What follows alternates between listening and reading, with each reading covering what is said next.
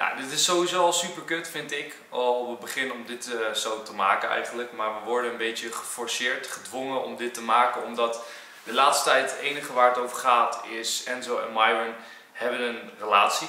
Toch? Ja. En nou, zoals jullie hebben gezien, ik zal even bij het begin beginnen. En ik denk dat het ook belangrijk is dat je even de hele video afkijkt. Ik zal het zo kort, of wij zouden het zo eh, kort mogelijk houden voor je. Zodat je begrijpt hoe en wat. Op het begin, logisch, eh, was Myron mijn schaatscoach. Misschien hebben jullie haar al laatst gezien op mijn Instagram story. Zo niet, dan zal ik jullie er even aan herinneren dat dit het fragmentje was. En ze heeft geen idee dat ik ga filmen. Ze heeft echt geen flauw idee. Maar achter mij schaats de beste trainster van de wereld.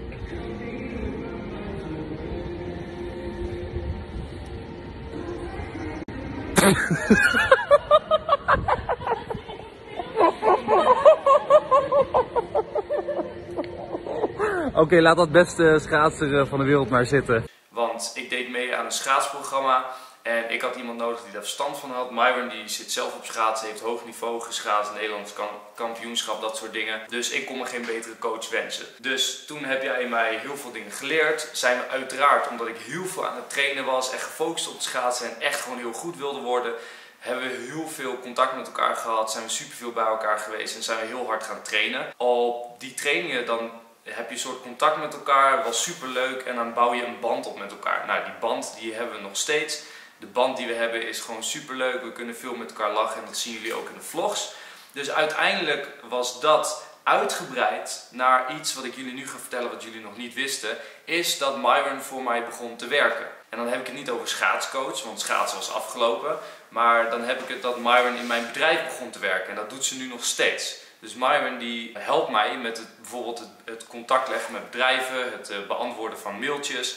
Dus Myron die heeft gewoon een toevoeging in mijn bedrijf gekregen en die is voor mij gaan werken. En daarom hebben we nog steeds, in plaats van nu over schaatsen, hebben we nu nog steeds heel veel contact met elkaar, maar dan zeg maar zakelijk gezien. En dat komt ook omdat ik communicatie gestudeerd heb. Dat sluit echt perfect aan, zeg maar. Precies, dus zo is dat eh, begonnen. Ja, misschien lul ik te veel, maar ja.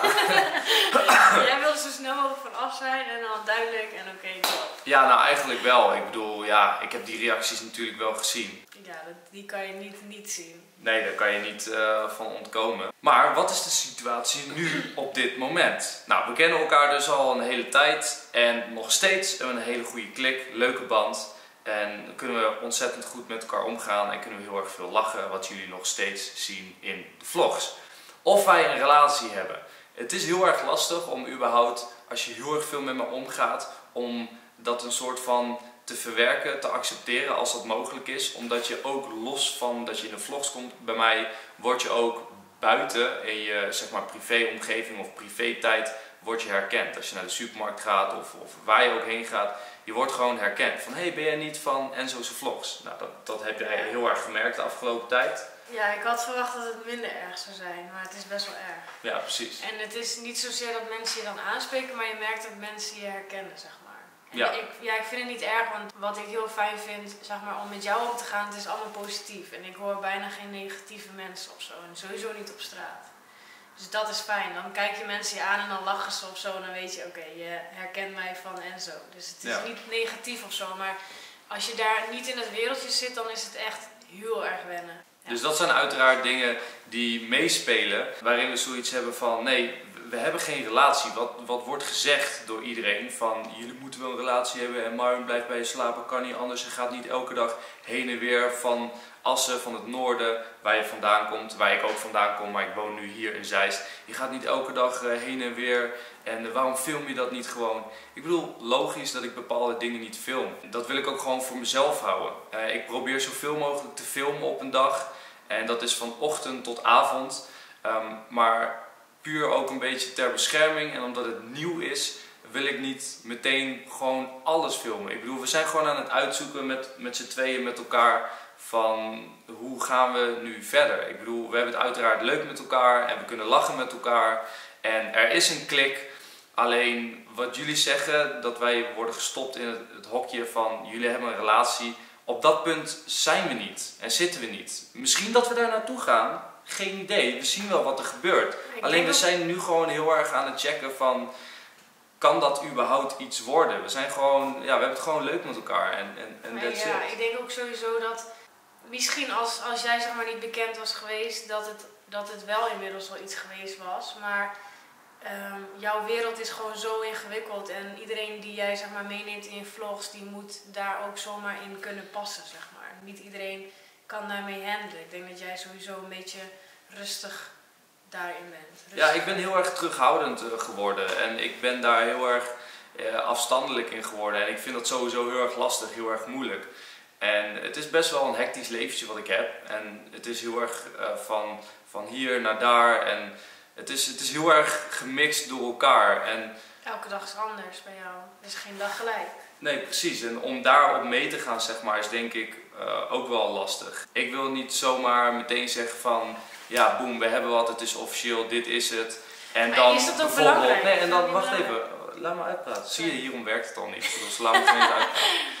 Wat ik ook belangrijk vind om te zeggen, is dat ik wil niet meteen van, hé hey mensen, ja, nou, we hebben wat, Mario en ik, hier zitten we dan, we hebben wat, is officieel. En dan twee maanden later, omdat er zoveel druk op is gelegd van, oh mijn god, zijn er stel, bla bla, dat dan twee maanden later, nou weet je mensen, het heeft toch niet gewerkt. Ik, ik vind gewoon leuk hoe het nu gaat. We gaan leuk met elkaar om. Ik bedoel, eh, uiteraard zien jullie dat Myron hier is en de volgende ochtend ook. Dus weet je, dat, dat zijn van die dingen, dat is logisch. Ik bedoel, we zijn volwassen en ja, daar, daar wil ik het eigenlijk bij houden. Meer dan dat is niet te zeggen. En als, als er een moment aankomt dat wij wel bij dat moment zijn gekomen van, ja, we hebben, we hebben nu gewoon met elkaar een bepaald iets bereikt eh, waardoor we het gewoon aandurven, dan, dan laten we dat wel weten. Maar tot die tijd, ik bedoel, geniet gewoon van de vlogs, geniet van de, de humor die wij met elkaar delen. Ik bedoel, we hebben sowieso een sterke klik omdat we allebei uit het noorden komen. Dus we kunnen gewoon lekker gek doen met elkaar. We begrijpen elkaar op heel veel vlakken en dingen. En het zou gewoon super zonde zijn als dat zeg maar een beetje wordt verpest omdat er alleen maar wordt re- gereageerd van jullie moeten wat hebben en als jullie nu niet hebben dan ben ik Ja. er klaar mee. Dan denk ik van Kijk, ik, ik snap aan de ene kant wel dat iedereen op een gegeven moment zoiets had van ja, Miron is er elke dag. En de enige uitleg die er geweest is, is dat ze schaatstrainer was. En Ja. dat snap ik dat mensen dan. Maar ja, aan de andere kant, je kan het zelf ook wel invullen. Want als ik elke dag bij en zo ben en dan we schaatsen helemaal niet meer, dan was het eigenlijk logisch. En ik vind ook, aan de ene kant, stel het zou wel ooit ehm, officieel zijn, dan vind ik eigenlijk niet eens dat we daar een video over moeten maken. Dan merken ze dat vanzelf wel toch? ja, het is gewoon leuk zoals het is. Ja. En, en, en het, weet je, ik heb gewoon heel erg naar mijn zin en ik vind het gewoon heel erg leuk. En ik, ik denk dat als je als, als kijker van mij, als trouwe kijker, dat, dat het belangrijkste is gewoon dat, dat we het naar ons zin hebben en dat het leuk is. Ja. En ik ben, ik ben niet van de roddels, ik ben niet van de negativiteit. En daar hou ik helemaal niet van. Dus deze video is, is helemaal niet bedoeld voor aandacht of whatever. Ik, ik voelde me gewoon enorm gedwongen om deze video te maken. Omdat het de laatste paar weken gewoon alleen maar hierover gaat. Gewoon, er is geen één reactie die niet hierover gaat. Dus ik hoop gewoon dat, eh, ook al is deze video misschien niet wat jullie hadden verwacht, wat jullie hoopten, want iedereen hoopt dat we het de, mee naar buiten komen, terwijl dat niet zo is. Ehm, ja, nou sorry daarvoor. Waarschijnlijk hoef ik daar geen sorry voor te zeggen, want Nee. dit is gewoon hoe het is. En we hebben het gewoon leuk, laten we het daarbij houden. En we zien het wel. We zien het wel. Cool. Ja, sorry dat ik zoveel heb geluld, zoveel aan het woord was. Maar het is wel een tijdje wat, eh, of iets wat een tijdje aan mij heeft geknaagd. Dus ik ben op zich wel blij om nu gewoon dit zo uit te spreken. En ja, ik ben sowieso heel erg van het praten, want anders krijg ik ook niet elke dag een vlog vol. Je hebt echt veel praten nu ook. Ja. Maar ja, anders zou ik ook niet vloggen. Ik kan gewoon een hele vlog gewoon dom lullen en aan elkaar vastmaken en dat het toch nog wel leuk is. Normaal gesproken gaat het niet zoals dit, weet je wel. Ik heb vroeger, voordat ik YouTube deed, heb ik verschillende relaties gehad, verkering gehad. En ehm, ja, dat, dat is al gewoon lastig. En laat staan nu gewoon met, de- met al dit eromheen, weet je Ja, wel. iedereen bemoeit zich ermee, dat is het gewoon. En dat is, het eh, soms wel eens jammer. bemoeien. Het is niet negatief bemoeien. Ja, veel mensen willen het gewoon weten, weet je wel. Ze smellen Ja. ervan. Ja. Heel veel eh, willen gewoon weten van, ja, vertel ons de nieuwtjes. Mm. Maar, en eh, aan de ene kant snap ik dat wel. Jullie willen duidelijkheid. Ehm, dus bij deze, ik bedoel, meer eerlijk dan dit kunnen we niet zijn. Myron was mijn schaatscoach, is voor me gaan werken. Ehm, we hebben een hele goede klik. We gaan heel erg leuk met elkaar om. En uiteraard vinden we elkaar leuk. En we zien wel of het uiteindelijk wat wordt officieel. Maar tot nu toe, we hebben gewoon naar ons zin. Ik bedoel, ik ben 26, Ik ben. 22. Ja, dat weet ik wel. en we, we zijn gewoon nog jongen, we hebben het gewoon naar ons plezier. En we, ik- tenminste, ik nog steeds ben super dankbaar. En ik merk ook aan jou dat jij dat heel tof vindt. Dat ik je meeneem naar dingen, naar evenementen, naar het buitenland. We zijn in Parijs geweest, dat was echt Ja, super vet. Dus we vinden het gewoon heel erg leuk om die dingen met elkaar te delen. We zijn allebei echt knijten sportief. Dus dat kunnen we ook met elkaar delen. Soms is het een beetje eng hoeveel eh, we gelijk zijn met bepaalde dingen. Ja, Dus- met sporten wel heel erg. Nou, ook maar met andere dingen. Ja, klopt. Dus ja, we zijn gewoon aan het kijken hoe en wat. Dus alsjeblieft, heb daar een beetje respect voor. Dankjewel. Eh ik hoop dat er nu eh, lieve, leuke reacties zijn over Ja, ons. Van dat we het gewoon leuk hebben met elkaar. Dat het gewoon grappig is. En, en dat jullie... eh, Het fijn vinden dat Enzo gewoon dit op tafel legt. Dat ja, dat hoop ik. Want Ja. ik bedoel, eerlijker dan dit kan ik het niet maken. En dat is gewoon hoe het nu is op dit moment. Nou, sorry nogmaals dat deze video alsnog langer is dan verwacht. Het is gewoon moeilijk. Je probeert alle vragen die voorbij zijn gekomen, probeer je te beantwoorden.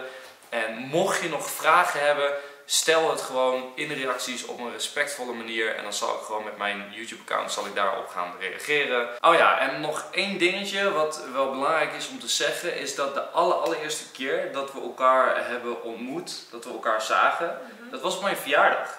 Ja. Dat was best wel geinig. Dat was op mijn verjaardag. Toen ging ik driftkarten, heette dat? Ja, dirtcard. Oh, dirtkart heette dat. Wat? Zo joh! Die meid is aan het driften joh.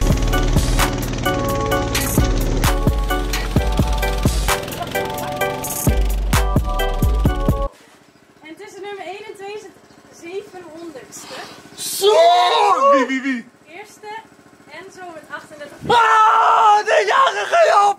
Let's go! Yeah! En dat was wel echt geinig, want Myron die was daar aan het werk toen ik aan het dirtkarten was. En ik had met jou contact, eh, want het was een samenwerking dat ik daar kwam. Klopt. En toen ging ik op mijn verjaardag ging ik daar dirtkarten met een groep vrienden, met mijn moeder en met Bas en zo. Dat was echt super gezellig. Alleen, ja, en toen hebben we contact gehad, gewoon zakelijk zeg maar, van die samenwerking. Ja. En toen is dat contact een beetje gebleven.